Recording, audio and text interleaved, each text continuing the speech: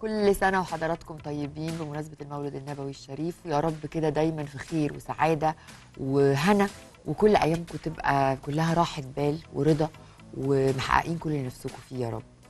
آه، طبعا اليومين دول شوادر حلاوة المولد مليانة في الشوارع وبصراحة شكلها لوحده من بعيد من غير ما نشتري ولا ناكل بس مبهج وبيدخل كده السعادة على الواحد.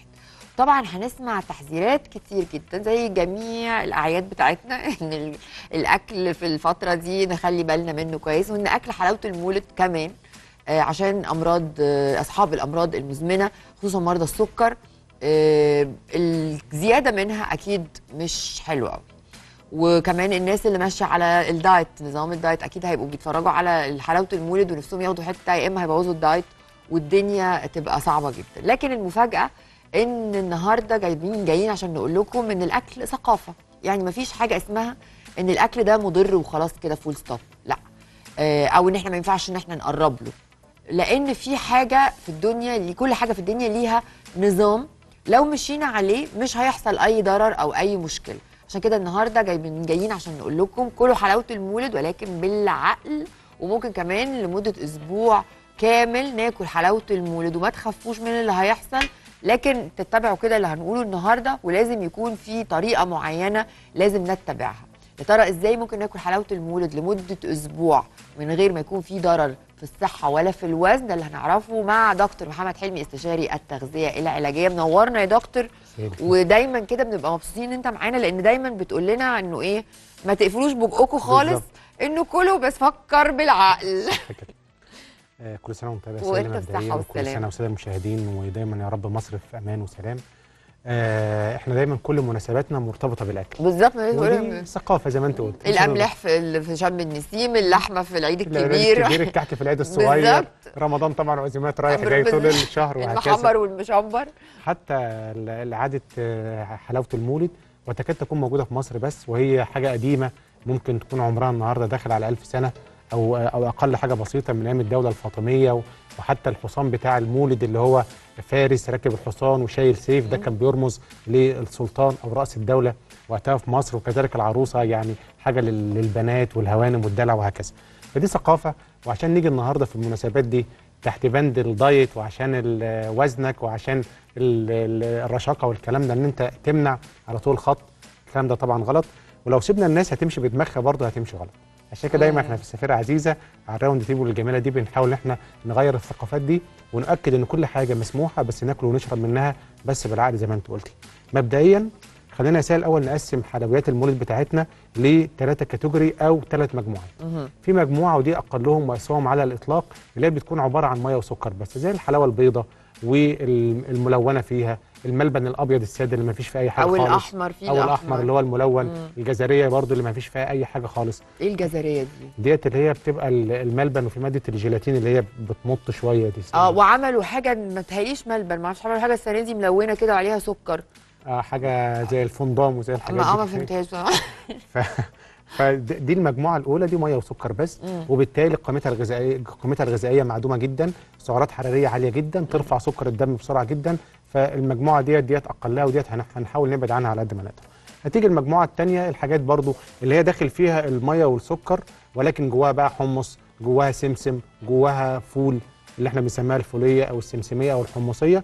ودي بتبقى أفضل شوية لأن طبعا السمسم ده مفيد جدا قلنا فيه أوميجا 3 بالمناسبة ولادنا عشان بداية المدارس والتركيز والذاكرة بتاعتهم والمناعة. كذلك الحمص كذلك الفول السوداني. الحاجات دي كلها صحية وكمان من الحاجات الجميلة الملبن بس يكون فيه مكسرات وهنتكلم دلوقتي إزاي بالرغم من الملبن مية بسكر وبرضه سعراته الحرارية عالية بس مم. المكسرات هتغير إزاي فيه وتخليه يكون أقل ضررا. هتيجي المجموعة الثالثه بقى في الحلويات اللي هي الحاجات اللي هي بس للأسف غالية شوية اللي هي بقى البندقية اللي فيها البندق واللوزية اللي فيها اللوز اللي- والكاجو وال دي عايزة ثروات دي عشان بالظبط كده. ثروات دي. فدي هتيجي في ال- ال- الدرجة الثالثه أو المجموعة الثالثه مبدئيا آه، إحنا ممكن ناكل حلاوة المولد ونستمتع بيها. هنحاول نبعد بس عن المجموعة الأولى لأن زي ما اتفقنا ديت مية بسكر. فحتى لو هنف- هنفترض إن إحنا هنتكلم في المجموعة الثانية اللي هي قيمتها المادية متوسطة ومعقولة وتتماشى مع شريحة كبيرة في في مصر. وكذلك اللي هي الشريحة الثالثه اللي هي المجموعة الثالثه بقى اللي هي بتاعة مم. المكسرات. وفي جوز الهند كمان. آه طبعا. آه. دي من الحاجات اللي هي بنسميها الجوزية. طبعا دي من الحاجات الممتازة جدا. وجوز الهند صحي ومفيد جدا وبتبقى نسبة ال- السكر اللي فيه برضه هنقول جوز الهند هيفيد فيها إزاي. في بس كام قاعدة وكام نقطة ناخد بالنا منها وإحنا بناكل حلويات المولد رقم واحد إحنا قلنا يا سالي إن في مدارس حديثة بدأت تتكلم على حاجة اسمها ال food mixing أو خلط الطعام مم. بمعنى أنا بحب آكل حلويات أو بحب آكل نوع فاكهة معين أو خلاص حلويات المولد موجودة أو عاوز آكل كحك لو أكلت الحاجات دي على معدة فاضية يعني إحنا كنا زمان من 20 سنة أول لما اشتغلنا تغذية كنا ننصح الناس أقول له خد الحاجات دي كسناك يعني خد حلويات المولد كسناك مم. بين الفطار والغداء أو بين الغداء والعشاء. طلع الكلام ده مع الأيام غلط. ليه؟ ما بناخد الحاجات دي على معدة فاضية فبالتالي عملية الهضم بتاعتها بتتم بسرعة جدا وبالتالي إن السكر يعدي بعد كده من الأمعاء للدم بتاعنا هيتم بسرعة فيرفع سكر الدم. وبتجوع. وتجوع بعد كده. برافو عليكي فالجوع عندك هيزيد. مم. الناس اللي عندها مقاومة إنسولين واتكلمنا عليها كتير هنا برضو على ال round table في سفيره عزيزة مقاومة الإنسولين هتزيد الوزن بتاعنا هيزيد السمنة المركزية في منطقة البطن هتزيد ولو انت مريض سكر بالفعل السكر عندك هيبقى عالي وبالتالي ممكن يحصل لك مشكلة نتيجة إن انت أكلت الحلويات دي على معدة فاضية. ولكن قصة أو فكرة ال food mixing انت أكلت الوجبة بتاعتك وجبة الفطار أو أكلت وجبة الغداء طبعا بيكون فيها بروتين بيكون فيها دهون صحية بيكون فيها نسبة كربوهيدرات نشويات سواء كانت عيش أو رز أو باستا.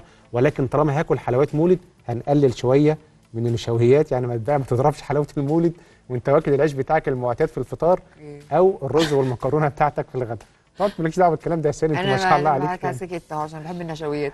بالظبط كده. فبنبتدي بعد ما بناكل الوجبة في تقريبا معدل نص ساعة ناكل الحلويات. يبقى أنا هنا عشان الحلويات اللي أنا أكلتها في وسط الأكل تتهضم هتاخد وقت أطول.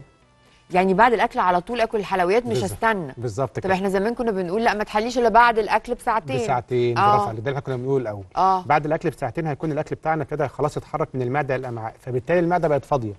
فبرضه هنا عملية الهضم هتتم بسرعة. السكر بعد كده هيعدي من المعدة للامعاء بسرعة. وهيطلع من الامعاء للدم بسرعة فهيزود الوزن ويجوعك ويزود مقاومة الانسولين. يعني رجعنا تاني لنظام أهالينا بتاع زمان. أيوة. هنتغدى ونحلي. بالظبط عادي. كده على طول. يعني الحلويات كانت موجودة على نفس السفرة. آه بالظبط. الناس بتخلص غدا وبعدين بيحلوا. بالظبط. الحاجة ال ال الوحيدة اللي من عادات زمان قلنا بس إن هي غلط شرب الشاي بعد الأكل مباشرة أو القهوة طبعا دي بعيد عن موضوع الحلقة ولكن عشان والله شكلهم في الآخر هيطلع تطلع عاديه وكويسه. زي ما السمنه طلعت هي اللي صحية. واللي يعني هنرجع خلي تاني بالك برضه يا سالي في نقطة مهمة علم التغذية علم حديث يا جماعة يعني مم. لازم برضه نعذر الباحثين لأن علم التغذية كله إحنا بنتكلم في الكلام ده بقى حوالي 20 سنة مثلا مم. مش علم أصيل بقى زي علم القلب ولا أمراض النساء ولا العظام علوم ممكن تكون متجاوزة 300 400 سنة النهارده طبعا. فبالتالي فيها ابديت مستمر ولكن علم التغذية علم حديث. فبيقولوا على حاجات غلط ويرجع بعد كده بالأبحاث والدراسات يكتشف إن الكلام بتاعهم ما هو إحنا اللي في الآخر بن بن يعني بنمشي وراهم. كل يقول لك جيل كده يعني. بنمشي وراهم بعدين يقول لك لا رجعنا تاني زي الأول. بالظبط. ولكن خلي بالك إحنا كل برضه يعني اللي إحنا لسه بنتكلم فيه إن إحنا مش عاوزين نمنع حاجة ولا عاوزين نحرم حاجة ولا إن إحنا نقفل على أي حاجة بس كل حاجة تكون بالعقل. يبقى إحنا قلنا النقطة الأولى اللي هو تقسيم الحلويات لمجموعات النقطة الثانية هتاكل حلويات ما تاكلهاش على معدة فاضية هتاخدها بعد وجبة الفطار الوجبه الرئيسية بتاعتك أو بعد وجبة الغداء. بنص ساعة. النقطة بقى الثالثه والمهمة في ناس بقى ما شاء الله حلاوة المولد موجودة يعني إحنا هنحلف بالله ما هنقوم إلا لما نخلصها. طبعا يعني هم أكيد اللي يعني اللي جايبها مش هياخدها تاني يعني. آه ايا كان مين اللي جايبها لنا كل سنة وإحنا طيبين إحنا اللي شاريينها ولا جالنا هدية فأكيد مش هياخدها تاني. فعشان كده محتاجين إن إحنا نقسمها على مدار أسبوع تقريبا. خلاص أنا أنا بحب النوع ده بحب النوع ده بحب النوع ده مفيش فيها مشكلة.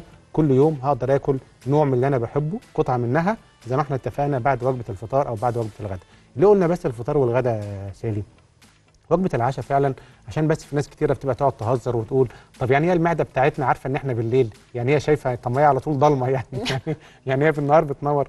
لا ولكن فعلا العمل الهرموني بتاعنا الهرمونات بتاعتنا والوظائف الحيوية كلها سبحان الله بتيجي بالليل ويبدأ يحصل لها عملية shut down يعني okay. خلاص زي ما إحنا في عايزة تنام بقى. بالظبط زي ما إحنا خلاص دلوقتي في الاستديو وخلاص خلصنا ف automatic ال spots دي واحدة واحدة خلاص بنقفلها وهنقفل ال condition عشان خلاص ما عادش عندنا على الأقل حتى في ال location ده لو هنتنقل location تاني مم. هنصور فيه. نفس القصة الجسم بتاعك بالليل هو الطبيعي إن هو خلاص عشان يرتاح بعد اليوم وإنت رايح جاي وشغلك وحياتك وهكذا فيبدأ يعمل shut down. فعشان كده إحنا محتاجين لو هناكل حاجة زي الحلويات هتكون بعد وجبة الفطار وبعد أو بعد وجبة الغداء. ده أو ده. الحاجة الثالثه والمهمه في الحلويات بقى إيه؟ إن إحنا محتاجين في التوقيت ده حاجات طبيعية أبدأ أشربها أو أكلها. إحنا قلنا خلاص هناخدها بعد الأكل. حاجات طبيعية أبدأ أشربها فبالتالي بتحسن عمل الإنسولين فهتخليه يشتغل أفضل. هتقلل مقاومة الإنسولين للناس اللي عندها مقاومة إنسولين فبالتالي هيبدأ الجسم يتعامل ده مع ال detoxing ال de- ال detox آه بس إحنا لا أنا عايزة في حتة فوتها أنت قلت لي هتقول لنا الملبن مع الجوز بيعمل إيه؟ أيوه. إن هو إزاي بي بيقلل من ضرره. وقلت لي برضو جوز الهند انه حتى لو في سكر في حاجة بتحصل عشان كده بيبقى ما فيهوش الله. ضرر كفاية. مركزه يا سالف. أنا آه شفت. جماعة سالف تشرب ورق اللورا فما شاء الله. مش هفتن عليها. على فكرة ورق اللورا إحنا اتكلمنا عليه مفيد كتير. جدا. جدا جدا ومريح جدا. للمعدة و... بالظبط. وقلنا إن كان كمان أمهاتنا زمان والأجداد كانوا بيستخدموه الناس اللي عندها تقلصات معوية أو إسهال أو نزلات معوية فورق اللورا ممتاز اللي إحنا بنحطه أو ورق الغار ورق اللورا أو ورق الغار اللي إحنا بنحطه على اللحم. ورق اللورا ما شاء الله يا سالم خليكي مركزه الشرب خلاص خلينا نرجع للصح. سؤالك ده مهم جدا. تخيلي بالرغم ان الملبن الساده فيه سعرات حراريه تقريبا ال 100 لأن هو مية بسكر. آه حوالي 800 كالوري بس. والملبن اللي ب... اللي هو بالمكسرات اللي هو بعين الجمل فيه 1200 يعني أكتر, يعني أكتر. من الساده إلا إن اللي هو ال- الملبن اللي هو المحشي مكسرات اللي هو بال... بال... بعين الجمل ده أو بالجوز صحيا أفضل. ليه بقى؟ الدهون الصحية اللي جوه المكسرات جوه الجوز أو عين الجمل وكذلك الألياف اللي فيها الاثنين دول بيقللوا حاجة اسمها المؤشر السكري أو ال glycemic index. العالم كله برضه دلوقتي بيقول ما عدناش بنبص لأي أكل وشرب ومدى الصحة بتاعته يا سالي على ال calories بس على السعرات الحرارية ده كلام مش منضبط. لأن ممكن تبقى حاجة سعراتها الحرارية عالية بس عشان تتحرر جوه جسمك أو تتهضم ويطلع منها السكر بتاعتها بتاخد وقت أطول وبالتالي تكون هي صحية أكتر. Okay. فالمؤشر السكري يعني أنا لما باخد الملبن وعليه الجوز عشان ده يتهضم في المعدة وزي ما اتفقنا بعد كده يبدأ يطلع السكر في الدم بتاعنا بياخد وقت أطول. فبالتالي ده تكون حاجة صحيا أكتر ما تزودش الوزن بسهولة ما تخلينيش جعان ما ترفعش سكر الدم بسهولة لمرضى السكر لا قدر الله. كذلك الناس اللي هي بتعاني من ال insulin resistance أو مقاومة الإنسولين ما يكونش عندها مشكلة خالص. فدي ده الفرق بين إن أنا آخد ال- الملبن بال- بالمكسرات اللي هو بالجوز عين الجمل أو آخده سادة. فبالمكسرات أفضل بكتير. ودي نفس الفكرة اللي قلنا عليها من شوية إن أنا باخد المكسرات بعد الأكل عشان برضه اخلي المؤشر السكري بقى بس ده بتلاعب يعني شوية أو تحايل على الجسم من الوجبة الرئيسية اللي أنا أكلتها فبالتالي هتخلي عملية هضم الحلويات أبطأ وأقل. فده فكرة المؤشر السكري حاجة اسمها ال GI أو ال glycemic index بتاعه الملبن من المكسرات أقل. كذلك جوز الهند طبعا ده صحي جدا جدا نسبة أوميجا 3 عالية ألياف عالية آه فيتامين زي فيتامين C وفيتامين E فمن الحاجات الممتازة جدا جدا واحيانا بيحطوا عليها زبيب في الغالب يعني فكمان الزبيب ده يعني آه، عنب طبعاً. عنب مجفف ما فيش فيه مشكلة خالص هي مشكلته بس في ال- السكر السكر اللي في. السكر طبعا وهي خلاص نفس القواعد اللي إحنا قلناها طالما هاخدها بعد الأكل سواء وجبة الفطار أو وجبة الغداء وهنتكلم على الديتوكس هتقلل طبعا من المشاكل كده إحنا هنتكلم عن الديتوكس إزاي بقى ننظف جسمنا من كل الحاجات اللي إحنا دايما بنعملها في الأعياد والمناسبات السعيدة. ولكن هنروح لفاصل صغير ونرجع نكمل مع دكتور محمد حلمي استشاري التغذيه العلاجيه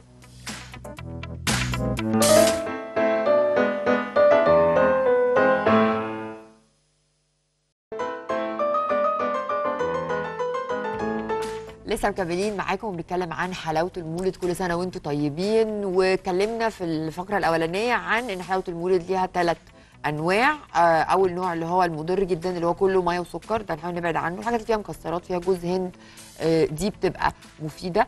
وساعات زي الملبن اللي بجوز زي ما حضرتك قلت إنه الملبن اللي بالجوز لا بالعكس آه في سعرات حرارية أكتر ولكن مفيد أكتر من الملبن الساده دلوقتي بقى دكتور محمد حلمي استشاري التغذية العلاجية هيقول لنا إزاي نعمل detoxing أو إزاي ننظف الجسم بعد بقى ما نكون بوظنا الأسبوع ده خالص وكلنا حلاوة المولد وعملنا الكوارث بتاعتنا. ففي طريقة لأن إحنا ننظف جسمنا من اللي إحنا. دخلناه هنعمل إيه بقى؟ آه مبدئيا إحنا اتفقنا قلنا يا سالي كتير اقوى ديتوكس على وجه الأرض هو المية. امم لازم نشرب مية كويس. بغض النظر بقى إن أنت هتلخبط مش هتلخبط ولكن شرب المية وخصوصا لما تزودها بكميات أكتر شوية الفترة اللي أنت بتلخبط فيها سواء بقى بنلخبط في املاح زي ما انت قلت أيام الفسيخ وشم النسيم أو حتى في, م... في مناسبة زي الحلويات. اللحوم آه، كله. Whatever يعني. فشرب المية كويس إن إحنا المفروض لو أنا ال normal بتاعي بشرب 2 لتر محتاج أزود لتر كمان تقريبا زيادة الفترة اللي أنا ممكن باكل فيها حاجات غلط. ده رقم واحد. رقم اتنين فكرة الديتوكس دايما إن إحنا بندخل حاجات ترفع معدل الحرق دي مهمة. الحاجة التانية ترفع وتزود المناعة لأن برضو الأكل الغلط والحاجات اللي داخل فيها نسبة سكريات عالية شوية دي بتزود الالتهابات في الجسم. الناس اللي بتشتكي من مشاكل في المفاصل بتاعتها أو إن بشرتها بيظهر فيها حبوب أو إن شعرها بيقع أو بيجي له cramp ات وشد عضلي دي كلها معناه إن في عمل التهابي أو في inflammatory process بتتم جوه الجسم مم. فبالتالي بناخد حاجات تقلل الالتهابات دي شوية في- اللي هو فكرة الديتوكس الحاجة الثالثه من الديتوكس بناخد حاجات كمان تقلل السكر في الدم عشان كده هنلاقي موجود قرفة وهنلاقي موجود آه، آه، بعض الحاجات مش موجودة على ال round table ولكن هنتكلم عليها اتكلمنا عليها كتير. زي بذور الشيا وزي بذور ال- الكتان وبذور الكينوا وهكذا يبقى دي الفكرة العامة في الديتوكس إحنا مبدئيا الديتوكس مش هناخده بقى بعد ما نعمل الجريمة الكاملة يا سيدي. إحنا هناخده من أول يوم يعني خلاص انت آه إحنا هناخده آه مع حاجة أنا قلت لهم بعد ما نخلص لا لا ما استنى يعني استنى ما أخلص الجريمة لا إحنا طيب. عاوزين جريمة كاملة بقى من البداية عشان تبقى كل حاجة إيه على مية بيضاء يعني مبدئيا إحنا بنختار حاجة من الحاجات اللي موجودة الثلاثه عندي مصادر لفيتامين C زي البرتقال عندي زي شرايح الليمون والحاجة الثالثه ممكن تبقى موجودة زي الكيوي ده أي حاجة من. الثلاثه دول. والجوافة دلوقتي. آه. يبقى دلوقتي عندنا جوافة عندنا كيوي عندنا برتقال عندنا ليمون. أي حاجة من الأربعة دول بناخد منها شريحتين ثلاثة 2 لتر مية. ده طبعا من بالليل بقى خلاص يعني إحنا خلاص نوينا كده هنبتدي إن شاء الله حلقه المولد من بكرة فمن بالليل 2 لتر مية وباخد فيها 3 4 شرايح من أي حاجة من مصدر لفيتامين سي. بعد كده بنحط معاه مجرد الشرايح من غير ما اعصرها يديني فيتامين سي؟ آه طبعا. ده مش كده بس وكمان عشان الألياف اللي بتبقى موجودة مع موضوع التهتكات اللي ممكن تتم في العصر وإن إحنا بنحط الحاجة كمان بالقشر بتاعها كامل. إحنا اتفقنا قلنا إن القشر بس إحنا ما بناكلهاش دي بس بتحب بتنزل حاجة في بالظبط. الميه إحنا عشان كده قلنا لازم قبلها بيوم كامل ليه؟ عشان خلاص تكون الحاجة زي الفكرة اللي اتكلمنا عليها زمان في موضوع الكركديه برضه. إحنا قلنا الكركديه إن. أنت اما أما بتغليه بتضيع جزء كبير وبتكسر جزء كبير من فوائده وممكن يرفع الضغط عند بعض الناس ولكن يتنقع. فنقعه فترة كافية يعني يوم قبل إن شاء الله ما هتبتدي بقى تاكل الحاجات دي. وقلنا قبل كده كتير كمان إن القشر ده يعني تقريبا 70% من الفايدة بتاعت الثمرة. موجودة في. الأوتر لاير بتاعتها أو في القشرة بتاعتها. فإحنا بناخد أي حاجة من الثلاثه دول وبنبدأ نحط عليه معلقة كركم. الكركم طبعا بالرغم ان هو ممكن طعمه يعني زي ما أنت عملت بالظبط كده يا ولكن حاجة متخيلة أشرب كركم. حاجة من الحاجات بس هو مش يعني في ال في ال في اللترين مية مش هيبان طعمه. هنحط هو قد إيه مثلا في معلقة؟ معلقة معلقة صغيرة. معلقة شاي صغيرة. okay. هو مضاد للالتهابات كويس جدا. الكركم حاجة من الحاجات صديقة الكبد والمرارة. وبالتالي إحنا اتفقنا العضو اللي بيتعامل مع السكريات في أجسامنا وكذلك الدهون هو الكبد عشان كده منتشر عندنا موضوع ال- ال fatty liver أو الكبد مم. الدهني والجلايكوجين أو السكر زيادة في أجسامنا بيتخزن في الكبد والعضلات فالمهم يبقى الكبد كده يعني بيشتغل بطاقة عالية وبكفاءة عالية فالكركم ده صديق الكبد وكذلك صديق المرارة فبالتالي يساعد على عملية الهضم لأن إحنا اتفقنا إن في بعض الحلويات فيها دهون صحية. زي المكسرات اللي موجودة وكده وكمان الكركم بيتهيألي مضاد للالتهاب. آه بالظبط آه. كده. ما إحنا قلنا حاليا قلنا إن هو مضاد للالتهابات وصديق للكبد وصديق للمراره ال- الحاجة الثالثه اللي بنستخدمها في الديتوكس حاجة زي القرفة. القرفة من الحاجات الممتازة جدا جدا وعشان كده بننصح دايما مرضى السكر أقول له خلي بالك لو انت بتاخد علاج السكر بتاعك بلاش تشرب قرفة بعديها مباشرة. لو انت بتاخد بالليل الدوز بتاعة الانسولين بتاعتك وبتتعشى عشاء خفيف بلاش يعني في ناس معانا في ال- الحفاظ على الوزن فبيحب يشرب قرفة وخصوصا خلاص يعني كل سنة وإحنا طيبين بقى الخريف وبعد كده داخلين على بداية البرد فعاوز مشروب دافي بالليل فممكن يكون بيشرب قرفة باللبن. على قدر ما هي حاجة صحية جدا ولكن القرفة حاجة من الحاجات اللي بتقلل السكر في الدم. فعشان كده برضو بننصح إن أنت لو هتاخدها تاخدها بالنهار وهي كده كده بتتنقع في المية بتاعتك. أنت بتشرب من الديتوكس على مدار اليوم. الحاجة اللي كمان من البدائل بقى مع القرفة بنحط حاجة زي القرنفل. القرنفل ده يعني صيدلية صحية ما بين مناعة وتنشيط دورة دموية وبينشط الدهون النافعة حاجة اسمها ال HDL اللي هي بتخلص الجسم من الدهون في في المسار الدموي وبتقلل الدهون الضارة اللي هي ال LDL بتنظم الكوليسترول في الدم بتنظم سكر الدم بتحسن جدا جدا صحة الجهاز الهضمي بتاعنا. البكتيريا النافعة اللي اسمها الميكروبيوم بتحب القرنفل جدا. فلمجرد إن أنا حتى أحطه في بقي كحاجة زي استحلاب زي البونبوني كده يفضل على مدار اليوم أو أحطه ويتنقع في مية قبلها بيوم برضو ده من الحاجات الكويسة. وأحيانا بننصح إن ممكن تبقى المية يا سالي دافية سنة. دافية يعني أنت خلاص قبلها هي كده كده هتبرد هتشربها تاني يوم باردة. آه okay. بس دافية سنة بحيث إن أنت عارفة برضو درجة الحرارة العالية. تستخلص الحاجات بالظبط. ال- ما تبقاش مغلية عشان بس ما تكسرش فيتامين سي والكلام ده تبقى دافية سنة بس. فالقرنفل من الحاجات الممتازة. من الحاجات المهمة كمان اللي إحنا بنستخدمها بذور الشيا ال chia seeds. اتكلمنا قبل كده على بذور الشيا هنا على ال round table وقلنا انها حاجة من البذور الصحية جدا. هي بذور صغيرة عاملة زي حبوب السمسم. ولكن هي لونها أسود شوية قريب من حبة البركة. فمن الحاجات اللي بتنظم سكر الدم جدا الناس اللي عندها مقاومة إنسولين بتحسنها جدا بتحسن كفاءة وعمل الإنسولين في في الدم بتاعنا وبالتالي هتنظم السكر. من الحاجات الجميلة كمان في بذور الشيا إن هي بتمتص مية يا سالي قد وزنها 25 ضعف. آه يعني أنا لما بحطها في. مية بتكبر قد وزنها وحجمها الطبيعي 25 مية مرة. وبالتالي أما أنا بح- بحطها في الديتوكس وبشربها قبل الأكل ب يعني من على مدار يومي يعني على مدار اليوم بشربها بتدي احساس بالشبع كويس جدا بت بتنظم السكر في الدم. زي ما إحنا اتفقنا بتحسن كفاءة الجهاز الهضمي. دايما البكتيريا النافعة بتاعتنا. ليه بننصح كتير الفترة الأخيرة؟ قلنا لو أنت هنفرض جدلا يعني هتعرف إن البرتقال ده تاكل في بعض الأحيان القشر بتاعه أو لو ما عرفتش اللي هي ال layer البيضة الطبقة البيضة اللي موجودة تحت البرتقانية على طول. قلنا إن قشر المانجا مفيد. اتكلمنا برضو هنا على ال round table. مرة ما كنا بنعمل الحلقة بتاعت الصوص بتاعت ال- شوربة الجمبري. انت آه، اكلت سيرك، أيوه كانت أكلنا أنا وأنت. ما فقلنا نسيتش والله. فقلنا ليه بنعمل البطاطس بقشرها؟ لأن الألياف دي صديق جيد للبكتيريا النافعة اللي عايشة في الجهاز الهضمي بتاعنا. مم. وبالتالي بتحسن المناعة ال- البكتيريا النافعة على فكرة يا سالي هي اللي بتطلع السيروتونين يعني هر أحد هرمونات السعادة اللي بتخلي الواحد كده حاسس يبقى ب euphoria. علشان كده بس هي دي طبعا مضمونة إن أنت أكيد كل الناس تاكل قشر المانجا معروفة. آه، طبعا. كل الناس تنحت قشر المانجا. ده مع نتعامل بقى مع قشر البرتقال نفس معاملة قشر المانجا. بالظبط كده آه. حاجة. تتغسل كويس وناخده لو نقدر. واخده بقى مع مع البرتقانية عشان ما يحسش بطعمه. فبتتكلم في ألياف عالية. حاجة مفيدة للجهاز الهضمي بتاعنا مفيدة للبكتيريا النافعة.